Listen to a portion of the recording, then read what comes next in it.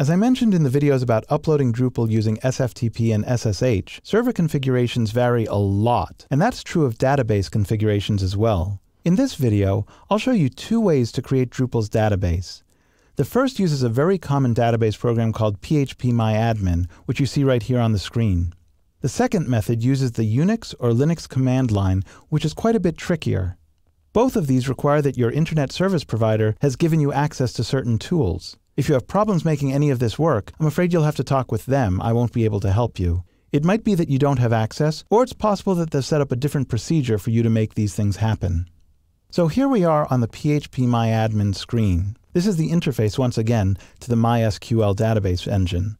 Over here, we see the databases that are already set up. We're going to set up another one, which we'll call Two Trees. It's very easy. I just go into Create New Database and type it in, Two Trees, and click Create. That's all there is to it. If I go back home again, I see it in my list. I just want to point out that these two have numbers next to them. That refers to the number of tables that are in the database itself. After you've installed Drupal, your database, in this case two trees, will also have a number next to it. That's one way to tell whether Drupal has set up correctly and is connecting to this database. If there are no tables in it, then Drupal hasn't been set up. Now I'm going to delete this database and show you how to create it using the trickier command line method. Normally, of course, you'd just use one of these methods. I'm showing both only for demonstration purposes. To get rid of it, I click Databases, then select it, and then click this little X. It asks whether I'm sure I want to do that, and I say yes. There, and it's gone. To start the command line method, we first have to log into our remote server. You can do this on the Mac by using the terminal program that's included in Mac OS X.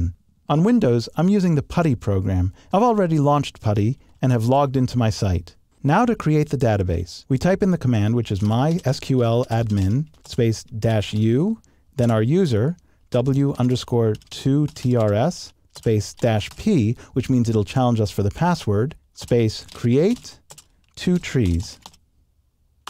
We're asked for the password, and it's done. We can prove that it's there by going back to phpMyAdmin and clicking on Databases. And there it is. Congratulations! You've gotten through one of the most show-stopping tasks for most beginning Drupal users. If you weren't able to complete it, don't feel bad. As I said before, this is a step that varies a lot from server to server. Fortunately, there's some good documentation to help you get through it. For one thing, you'll find that in your Drupal folder itself. I'll go back to that it's called Two Trees. And it's this file here, install.mysql.txt. When you open it, you see the command that I just gave you a moment ago, and it gives you a little bit more information if you have further problems. There's also good information on the Drupal.org website. Go to Drupal.org, then click Documentation, Installation Guide, Basic Installation, and Creating the Database. In the end, though, you may have to get your web host provider involved, because they might require you to set up the database in some other way. But once you have the files and database in place, you're ready to run Drupal's installer.